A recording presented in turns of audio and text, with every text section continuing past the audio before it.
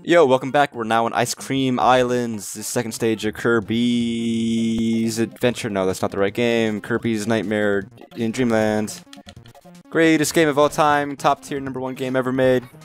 Ba-dum-bum-bum-bum-bum, ba-dum-bum. I mean, just as... I know it's probably just me, but I think I feel like Kirby gets snubbed a lot when people talk about favorite games. Because it's a game series that has never deteriorated in quality ever ever. It's consistent. For the most part. Okay, that's not true. Some games are better than others. Like you look at Kirby Star Allies that came out recently. I don't think it's a bad game. It's kind of boring. And actually a little easy. But the parts that, you know, I think it gets more difficult later on, but the, it's easy and slow to start with. And I don't think it's a good thing. This game, I, do you see how fast I went through the first world? You know, 10 minutes flat, easy. But this game does get harder. And for people who aren't experienced, it's difficult enough. I like this power-up, even though it's not, honestly, not, it's cool, but it's not that useful. I mean, these levels are so short that you get to the difficult parts fast if you're good at it.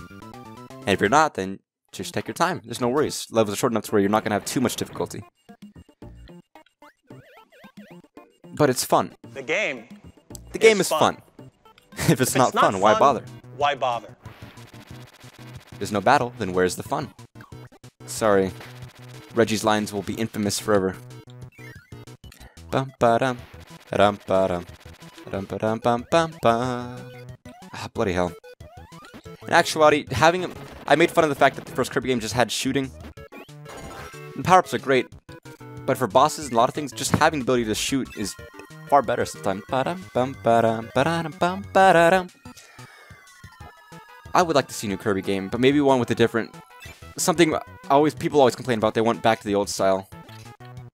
Maybe just something interesting. Something fun and interesting. You can't just remake the old games over and over again. No matter how much people want that. Oh, bloody bastard. Yeah, bosses, it's far easier just to shoot. I mean, we, but there are like, if you ever played Kirby's Air Ride, Aeroid, yeah. hey mate, you ever played Kirby's Air Ride? It's a good game. Well, no, but Kirby, Kirby's Air Ride's a fantastic game. And that was them trying something new. So I would love to see them try something new in the Kirby series. And see what they could... Oh, bloody, bloody bastard. Ah, God bless America. I'd love, to, I'd love to see what they could do with Kirby, trying some new ideas. Nintendo's at its best when it's trying new things. It's when they try to appease older audiences audience. It's when they appease older audiences. Okay, sometimes it works out well, but for the most part, appeasing older audiences doesn't always work very well. I think that's when they stagnate a bit. And I think that's why they put de-emphasize stuff like the Virtual Console. And I'm happy they're doing that. People are so upset, but Virtual Console is not necessity. You played the games already, and if you want to play them again, you probably own a copy already, or five, I know some people who have a copy of, like, Super Mario 64 on every single system that they sold it on. I was like, seriously? Really? It's a good game. Play some new games. Oh, oh. Dad, bless America. I was not trying to do that. That's a good power-up. Wait, could I? Nah, I figured as much. I got off. Yeah, but I know some people who've bought the same game multiple times just because it's come out again on the Virtual Console. And I'm like, really? I get it. I I get it. I get it. No, I get it. Sincerely, I do. It's Certain games I would probably do that for. There are a lot of games I would love to have on the Switch. But at the same time, it's not a necessity. If I want to play it, I probably own a copy of it. And Nintendo shouldn't be spending their time porting old games 50 times over again. They should be focusing their time on new games. New experiences that could be better and awesome and really cool. Anyways, what I'm trying to say is, I like Kirby's Air Ride. It's a good game. Game, game, best game of all time. Game of the year.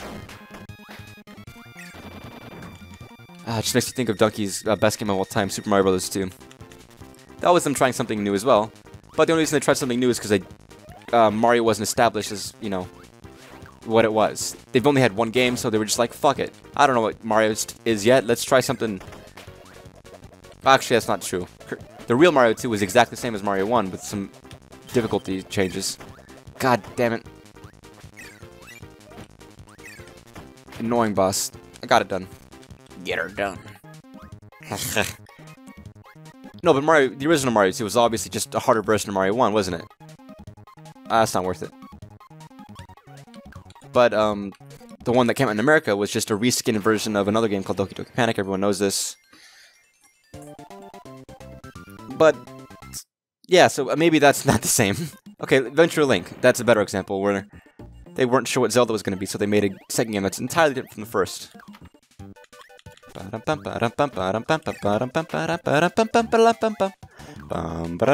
Sorry. I can't help it, man. Singing along to Kirby.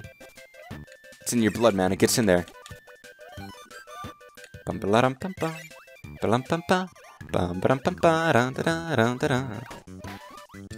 I mean, God bless America.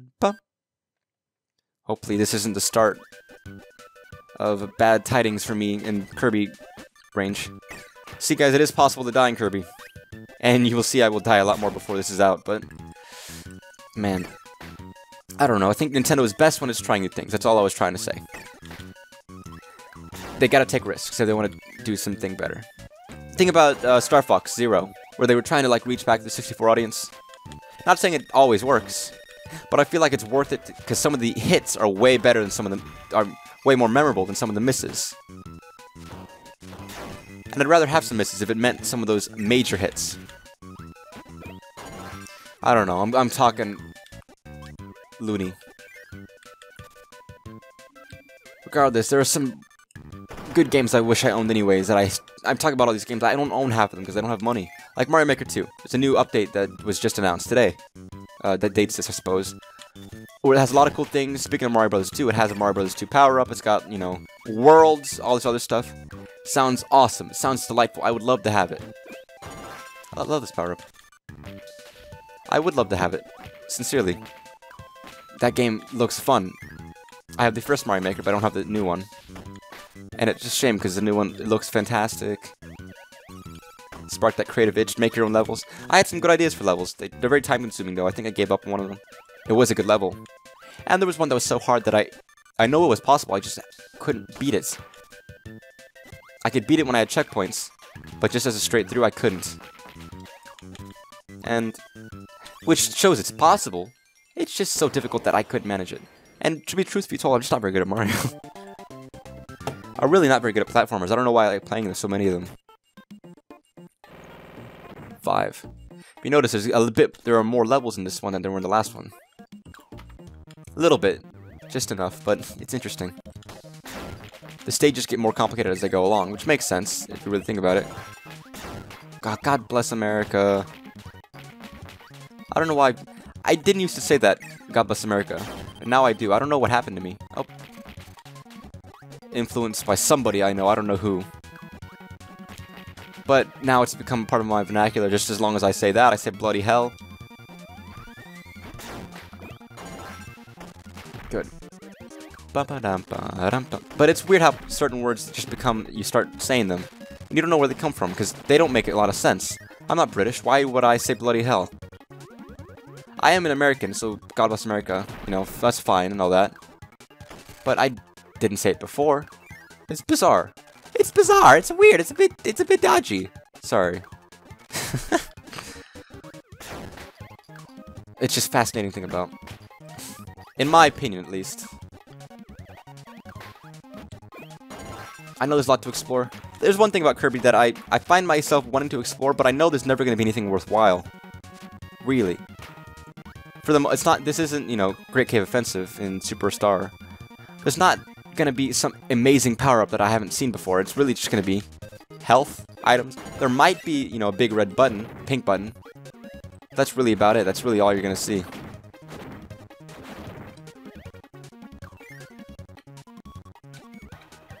Ah, bloody hell, I can't get him like this. Oh, oh, Jesus Christ. Yeah, but there's not a lot of incentive for exploring, which is why they're mostly linear. But when they have stages that are a bit more open-ended, I just... I don't know. I still feel the urge to explore, but at the same time, it's not really that necessary.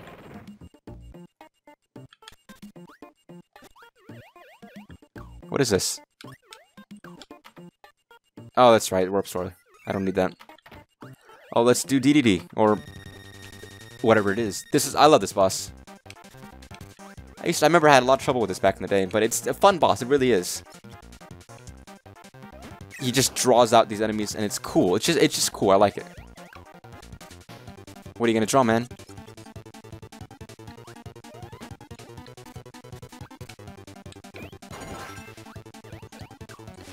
Oh, bloody, why did I do that? I knew that was a mistake. I can beat him. I can beat him. I can do it. I can do it. Definitely, guys. I'm skilled. I'm a skilled Kirby master. Uh, number one Kirby player in the world. Oh, oh, Jesus. I did not mean to do that. Damn, man. I got this. I shouldn't be losing he health. I usually I'm pretty good at getting the bonus health at the end of stage. I haven't been doing that. So I'm not prepared for the later levels. Hmm.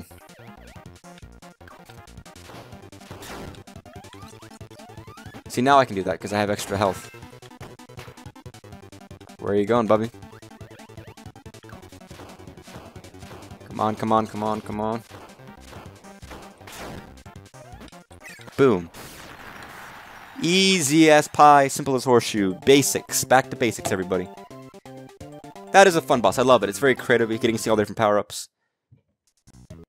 Oh, Butter Building. Oh, this is great music. This is probably one of my favorite Kirby tracks.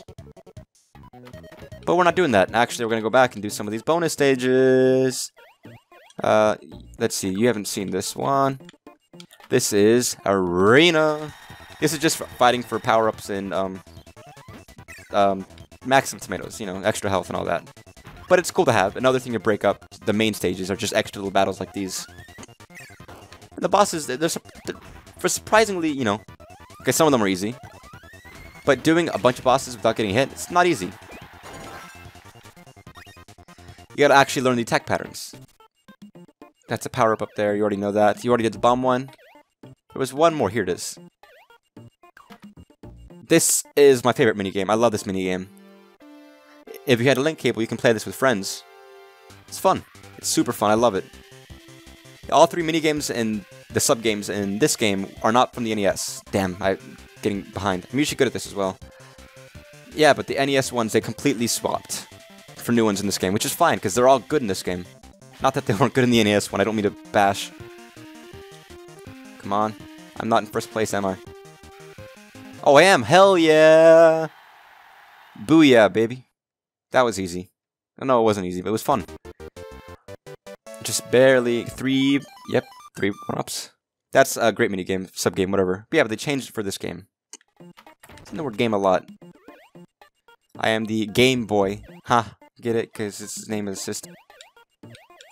Well, anyways, we'll check out that uh, next time. This was, uh, what, Ice Cream Island World 2? Easy. It took us a little bit longer. I see we see a trend coming along, but uh, still pretty fast. Um, thanks for watching. Subscribe, like all the other garbage, um, and goodbye. Thanks.